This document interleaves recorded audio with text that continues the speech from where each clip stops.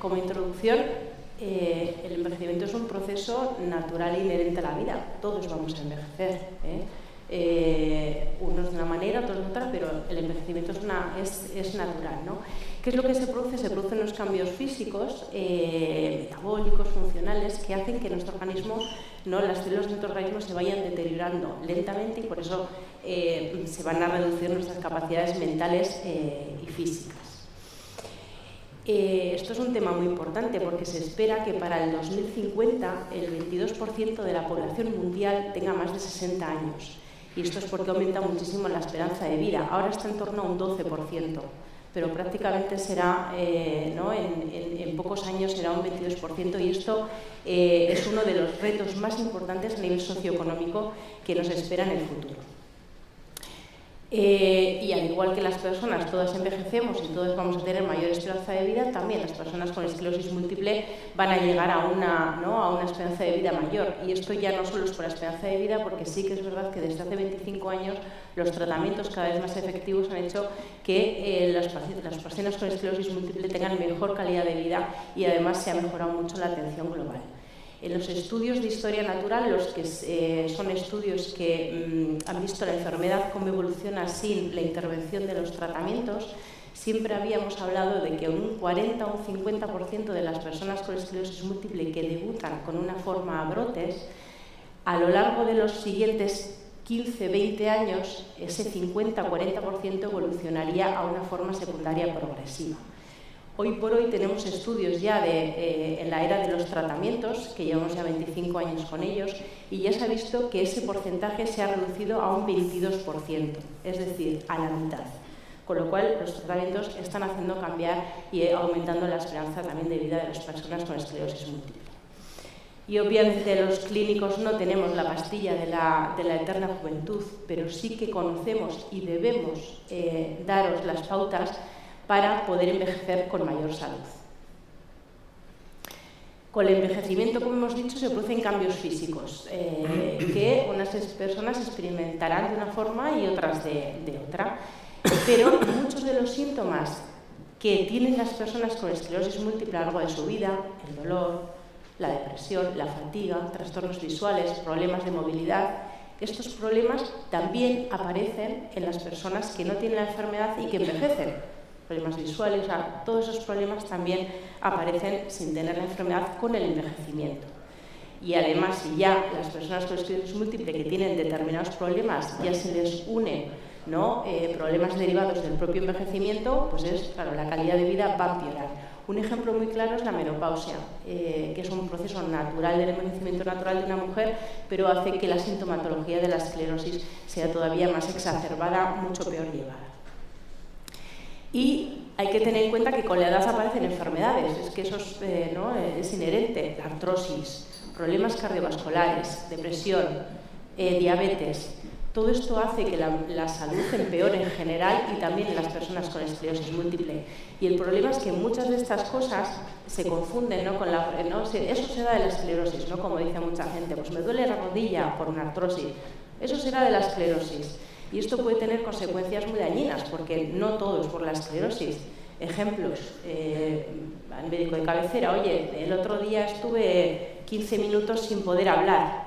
Eso será de la esclerosis. ¿Tú tienes esclerosis? Pues no, es un ictus y deberías ir a, urgencias inmediatamente. Oye, que estoy, uf, que me encuentro como con la cabeza muy mareada, será de la esclerosis, era una hemorragia cerebral. O sea que hay que tener en cuenta que con el envejecimiento la frase de no todo por la, por la esclerosis cobra todavía más importancia y relevancia. Y ahora está, eh, ¿no? esto está muy en boga ahora, lo que es el envejecimiento activo y saludable. ¿vale? De esto hay ahora un montón de, ¿no? de, de, acciones eh, al respecto. ¿Vale? Esto requiere de la voluntad de la persona, lo que significa envejecer con salud e implica tener un rol de la propia persona en el manejo de su enfermedad y de su, y de su patología. Eh, y es un pilar fundamental en, el manejo integral de la esclerosis múltiple. Eh, sabemos que hay muchos factores que influyen en envejecer, en envejecer con salud ¿no? y tener un mejor pronóstico. Algunos no los podemos controlar y otros sí. Y los que podemos controlar, como nos han contado muchos de los, eh, de los ya ponentes, hay una evidencia científica ya muy sólida respecto a la dieta, respecto al ejercicio físico, respecto a la pérdida de peso y respecto a los tóxicos, entre ellos el tabaco y otro tipo de tóxicos. Y de hecho, seguramente alguna vez os habéis preguntado, ¿no? ¿Por qué eh, dos personas que tienen la misma edad envejecen de forma diferente, independientemente de la enfermedad? Pues eso es debido a la diferencia que hay entre la edad cronológica y la edad biológica. La edad cronológica es el tiempo que pasa desde que nacemos, o sea, el tiempo, X años. Pero la edad biológica, y además de la edad cronológica, también interviene la carga genética y el estilo de vida. Con lo cual, los hábitos de vida saludables van a influir en esa eh, edad biológica. Y otra cosa importante que yo también siempre digo a los pacientes, eh, con el envejecimiento obviamente aparecen otras enfermedades y hay que es importante acudir tanto al médico de atención primaria como a especialistas, ginecología, urología, dermatología, con regularidad o como nos indiquen los clínicos. Pero es importante porque con el envejecimiento podemos detectar eh, ¿no? aparecen enfermedades y las podemos detectar, de forma temprana. No por tener esclerosis múltiple vamos a evitar ir a otros especialistas del cuidado de nuestra salud general. Y ya un poquito a nivel práctico, ¿cuáles son esos hábitos de vida saludables que influyen en que una persona tenga una mejor edad biológica? Pues ya nos ha dicho el, doctor Otaegui de, Donosti, no existe una dieta, ¿no? Mucha gente preguntáis, eh, sobre todo en las primeras consultas, pues tengo que seguir alguna dieta especial para que no me brotes, para estar mejor. Pues específicamente no hay ninguna dieta, pero sí que es verdad que lo que nos han dicho, tiene que ser una dieta pues sana, equilibrada, eh, y la dieta mediterránea es la que más se aproxima a esto. Y esto no solo aquí, eh, mira si en, en, Estados Unidos la recomiendan, en todos los países recomiendan una dieta eh, mediterránea. Reducir el consumo de sal, no un exceso de sal, no hay que quitarse la sal ni nada, pero sí que también hay que, eh, hay que reducirla porque tiene peor pronóstico en la esclerosis múltiple. Y la hidratación también es muy importante, estamos hablando de envejecimiento. Resulta que muchos eh, ancianos que llegan a la urgencia, muchos de ellos deshidratados, solo toman un vaso de agua o medio para tomarse las pastillas del día. Esto es un error, hay que hidratarse ¿Por qué? Porque ayuda a mantener la temperatura eh, corporal, ayuda a la capacidad cognitiva, e, evita estreñimiento, mejora las infecciones del tracto urinario o las evita, las previene. Y somos conscientes los clínicos que, la, que el beber mucha agua en un paciente que tiene problemas eh, esfinterianos o que tiene problemas de necesidad de movilidad, perdón, es un problema. Pero eh, no hay que por eso dejar de hidratarse, hay que modificar, hacer horarios. Eh, ¿no? de ingesta de agua, evitando las horas previas a cuando uno va a salir de casa, a dormir, pues bueno, eh, modificar.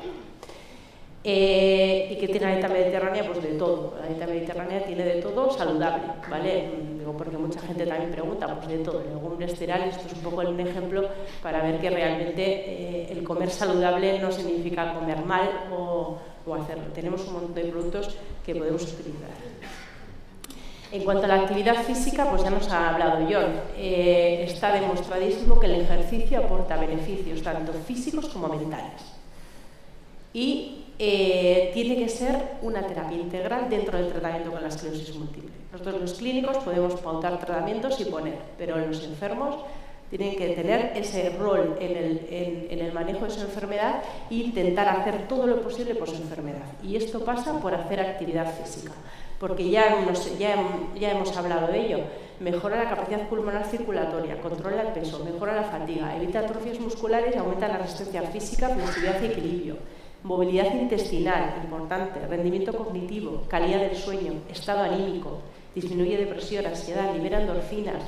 El ejercicio es bueno para un montón de cosas.